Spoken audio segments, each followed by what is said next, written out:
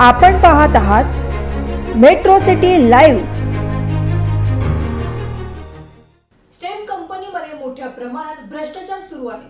येथील मनमानी कारभारामुळे मागील काही वर्षांपासून कंपनी अधिकारी व कर्मचारी वर्ग पूर्णपणे गोंधळलेले आहे कंपनीचे व्यवस्थापकीय संचालक विवेकानंद चौधरी आणि सध्या कार्यरत असलेले संदेश घरत यांच्या मनमानी कारभारामुळे कंपनीचे व्यवस्थापन धोक्यात आले स्टेम कंपनीमध्ये मोठ्या प्रमाणात भ्रष्टाचार.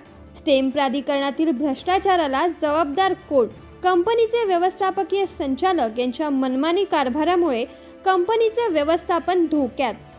अध्यक्षांनी पत्राद्वारे केलेले आरोपाचे अद्यापही स्पष्टीकरण देण्यात आले नाही. संदेश घरत यांचा राजकीय वरदहस्त असल्या कारणाने कर्मचारी व अधिकारी घाबरलेले आहेत. स्टेम प्राधिकरणामध्ये दोन हजार तेरा ते चौदा पासून सुरू असलेला भ्रष्टाचार उघड होणे अत्यंत गरजेचे आहे. याबाबत सखोल चौकशी करून दोषी अधिकारी यांना निलंबित करून कायदेशीर चौकशी करावी अशी मागणी महाराष्ट्र प्रदेश काँग्रेस कमिटी ओबीसी विभाग यांनी केली आहे. विवेकानंद चौधरी आणि संदेश गरज यांच्यात चाललेल्या मनमानी कारभाराकडे येथील प्रशासन जाणीवपूर्वक दुर्लक्ष करीत असल्याची बाब उघड झाली आहे. गेल्या तीन चार वर्षात जनरल मॅनेजर आज रोजी व्यवस्थापकीय संचालक बढती यामध्ये कोणाचा राजकीय आशीर्वाद आहे? कोणत्या नियमानुसार एमडी पदावर भरती करण्यात आली आहे?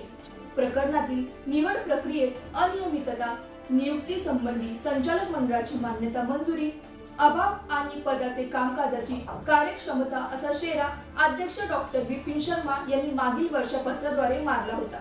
तसेच स्टेम पथक कार्यालकाचे अनियमितता असून काही प्रकरणी व्यवस्थापकीय संचालक यांच्या स्तरावर निर्णय झाला तर सदर प्रकरण माहितीसाठी व कार्यतर मान्यतेसाठी चौकशी समितीला सादर करण्यात यावे असे आदेश अध्यक्ष डॉक्टर विपिन शर्मा यांनी दिले होते. मात्र या सर्व आदेशांना केराची टोपली दाखवण्यात आली आहे.